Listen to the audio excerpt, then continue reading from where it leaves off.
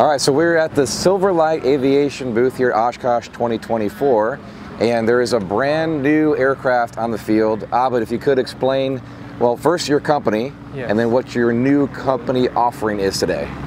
Right. So we are Silverlight Aviation based in uh, near Tampa, Florida, in Zephyrhills, Florida. And we are been making gyroplanes. People know us for American Ranger 1 AR1 gyroplane. Um, but I've been in airplanes, I fly airplanes, gyroplanes, trikes, designed all three and have manufactured all three.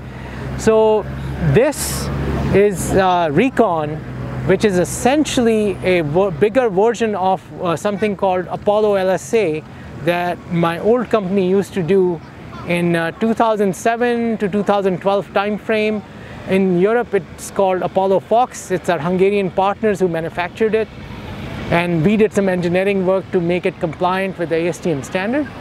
And what has happened is, when I decided to bring it back, I wanted to redesign it and take away the sizing constraint, the baggage constraint, and allow bigger engines to go in there, like a 916 or a, or a Continental engine to go in there. So I redesigned it, stretched it out, made the cabin bigger, baggage compartment bigger, fuselage is longer, and I completely redesigned the, the tail. So, and uh, the wingspan is a little bit bigger as well. So when I redesigned it and sent the drawings back to them, they are still manufacturing the kit for us and it comes here as a quick build kit and people can buy it.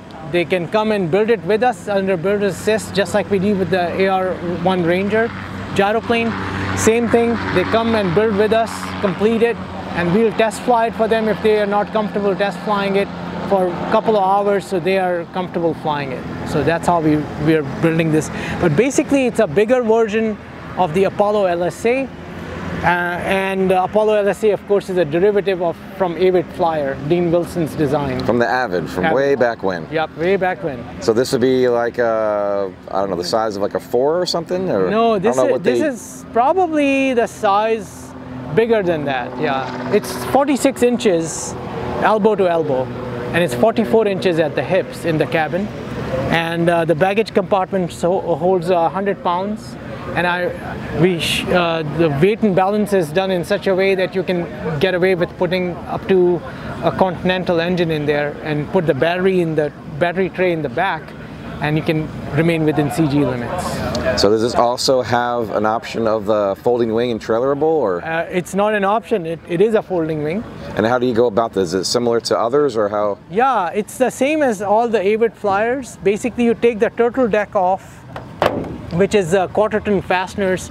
Uh, you'll take the uh, balance weights off that are screwed on. There are two of them. And after doing that, you're gonna lock your stick forward with a bungee so it doesn't, the, the tail is down, the elevator is down. And then you're gonna come here and you're gonna take the spin out, and that's the key right here, the spin out. And we have a slide hammer that actually hooks in there. And as the pin comes out, the slide hammer goes in, and you can take that out, put it in your pocket, drop it on the ground, and then you grab this here and you take the slide hammer out, and you can walk yourself right here. And then you're just gonna swing it back. And while you're swinging it back, about halfway, 45 degrees, you're gonna put the flaperon all the way up Flip, flip the flaperon. up, yeah, flip the flaperon all the way up, and essentially that's it. Okay, and I saw a tab over here on the tail. I assume is that to lock that, that in? tab is to lock, so it doesn't go hit this, and you can trailer it with with a locking strut right here. Okay. So that works pretty well, and this remains down when when the wing is folded. Another uh, caution you have to have while folding the wing is you need to start with half a fuel tank, like seven gallons in each tank instead of 14, because the fuel will otherwise when you fold it, the fuel will go to one direction and it'll come out from the cap which is vented. So make sure you have half tanks before you. Correct. Yes. Yeah. Yeah. That's one thing you have to make sure that you have. Yeah. So don't top it off after every flight then. No, yeah, yeah. If you want to fold it, don't top it off, right? All right. So talk to us about the. Uh, this obviously, as you mentioned, has the uh, 100 horsepower engine. This one has yes. So this one has 100 horsepower engine. Um, you can put the 912 IS, the FADEC engine as well. You can also put um the 916 IS. Those are the engines we are targeting. but uh, if somebody wants a Continental like uh, 360, X360 or 340, we can do that as well. But we'll have to engineer the engine mounting mechanism. So you've got enough room on the on the firewall, the Yes. nose of it, to accommodate the weight. Correct, yes. All right. Uh, So, weight is not a problem. Making sure that the engine cooling is going to be correct, that's the engineering. If somebody wants a X360 or 340, that, that I would have to design that. all right. And what is the um, talk to us about the uh, the takeoff speeds and cruise speeds of projected? Because this is yet Yes, it has to be flown. Yes. So projected, we are targeting a speed of about for the standard tail dragger, not with the uh, with the 22 inch wheels, but tires, but with smaller tires and wheel pans. A tail dragger with 100 horsepower, 75% power should ride be around 98 to 100 knots cruise, and uh, stall speed is in the 30s, 30, 32 to 38 knots, depending on your flaperon settings and uh, possibly lower. I have to test the Vortex generators, but generally Vortex generator will drop it down by three knots. Uh, and uh, the tri-gear version of this will cruise about three knots slower than the tail dragger. okay. So you've got two wing tanks, and I saw a small header tank, which is becoming Yes. quite popular in many builds. Yeah. Is that about a gallon or so, or? It's about 1.3 gallons, yes. Okay, now this particular engine is not fuel injected, but are you recommending anybody to, everybody to use header tanks at this point? Yes, we always did header tanks, even in the Apollo Fox, Apollo LSA, we did header tanks always, yeah. Okay. It's just a good, good system. Um, you have an accumulator tank that equalizes both sides and uh, you have a local reservoir right there.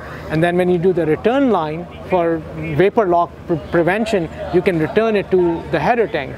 And that's much easier than trying to go back up. And uh, it's also much more effective because the gravity feed into the header tank pressurizes and uh, takes the vapor away. And So do you vent at the cap? yes, Uh, you vent at the cap, only at the cap. Correct. And then the uh, the crossover line on the Rotax goes back to the header tank. correct.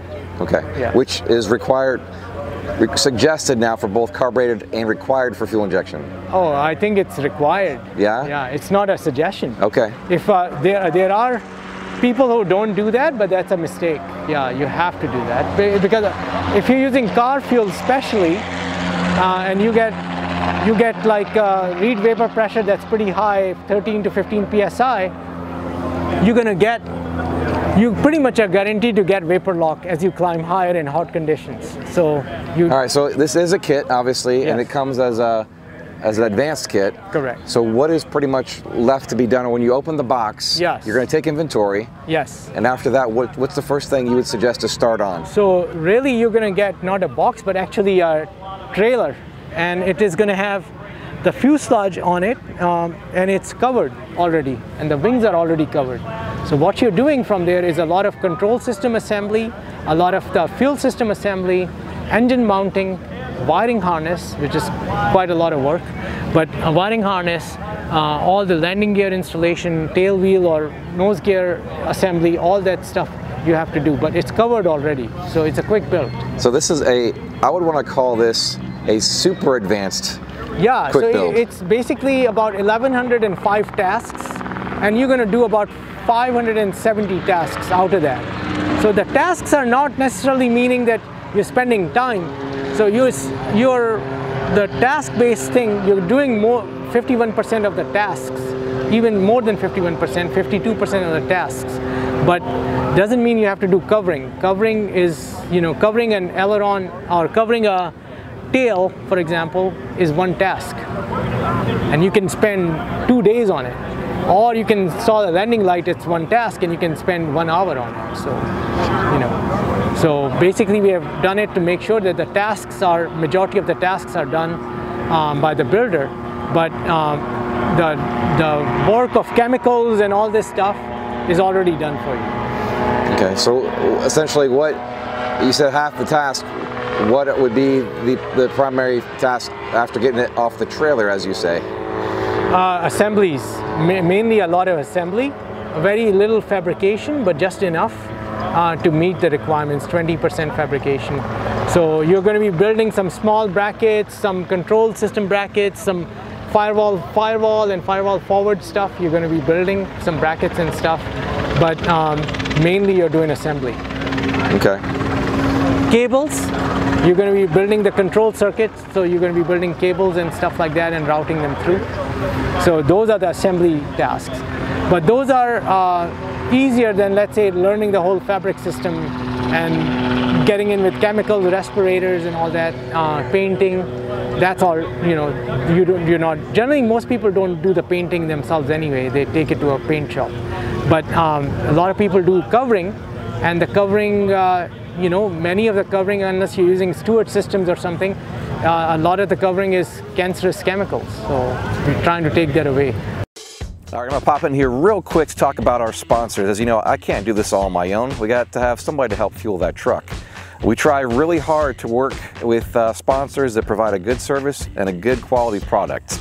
So let's talk about those guys right now. Dynon Avionics at Dynon.com, the premier provider of glass panel avionics systems for experimental and light sport aircraft. Wide Open Door Company at WideOpenDoorCo.com, your premier destination for high quality doors, including aircraft hangar doors. Warp Drive Propellers at WarpDriveInc.com providing quality, solid carbon fiber propellers for many light sport and experimental aircraft. And visit our website at experimentalaircraftchannel.com for new videos and easy to navigate playlists and so much more. Speaking of fueling that truck, if you guys want to join us on our Patreon page, become patrons of this channel, just search on Patreon for Experimental Aircraft Channel. Sign up, there's several different levels, so check that out. All right, Abid, so uh, having you sitting here just to show scale and uh, the headroom, Yeah. looks like you got plenty of headroom to clear headsets and right. so forth. I am uh, I'm pretty average, 5'9", so um, you can kind of see.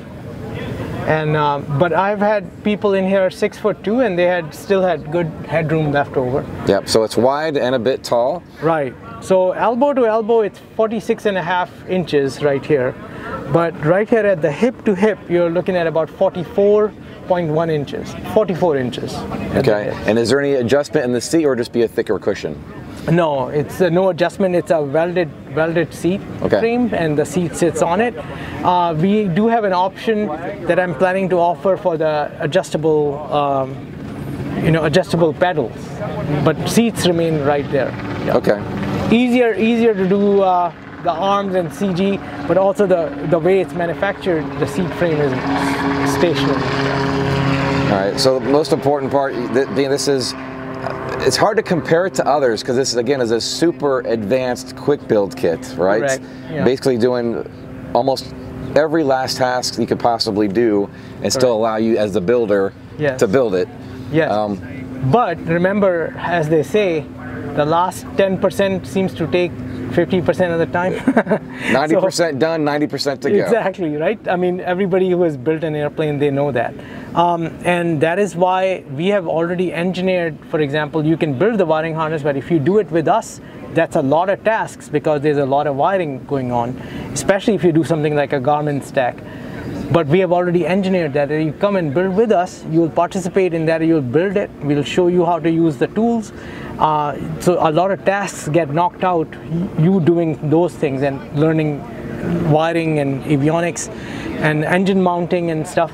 Those are the things that are tricky for a lot of users to get right. And Sure. uh, with the builder assist, we make that nine, you know, the last 10% takes 50% of the time.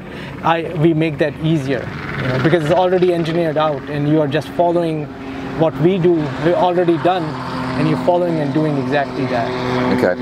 And just so everybody knows, this particular plane and design has not flown yet. The Yes. FAA, unfortunately, is being a government entity and dragging their feet on getting Abid his uh, approval on this. Yeah. But uh, Abid has designed the whole fleet of the Silverlight uh, aircraft. Yeah, and uh, uh, yeah, my, I started with uh, Apollo aircraft before um, and did the Apollo LSA, uh, did the trikes, a lot of trikes. Um, then Silverlight Aviation. I also worked at SeaRey, so SeaRey amphibian airplane, their certification and stuff, and production line setup. That was So this, this is not your first design. no, no, no. Yeah. So after this gets approved by FAA, you're obviously going to go through flight testing and so forth. And after that, you'll we'll get together again, Right. and uh, we'll be able to share some in-flight stuff. But what uh, do you perceive the lead time to be on the kits? So right now the lead time on the kit to be delivered in uh, Florida is four months. Okay, we already have a couple of kits in production. So if uh, somebody is wanting to order and they know their paint paint scheme, they can get that, and I can get that over. It's probably four months for the kit to come here. Then they come over for about um, like three to four weeks, build with us, and the last finishing probably six months to flying essentially. Okay, and what is the price point projected to be? So uh, with the builder's assist, let's say you're starting at 120 and you could go all the way to 145 with a 916 engine in it. And if you want to just buy the kit, what is the kit price? The kit price uh, 80,000. Yeah. But that's already covered, so it's a quick build. Very So, so what at the eighty thousand kit price? What is missing? what is missing is you assembling essentially and doing all those things that we what is oh what is missing as in they will at 80,000 kit price they're going to have to buy the engine essentially yeah Okay. All right. So is it? Uh, where can people get in touch with you or follow you on social to see when this will be, in fact, ready and uh, available? Correct. Hopefully, within uh, two weeks after Oshkosh, we will have uh, we'll be flying this, and as soon as we start flying it, I'm going to make the pages for on the website go live for the airplane. Right now, you can only see the gyroplane. As soon as I start airworthiness and I start flying, the pages will go live, and people can see it there. But uh, so www.silverlightaviation.com, and uh, you, there will be an airplane section showing up there.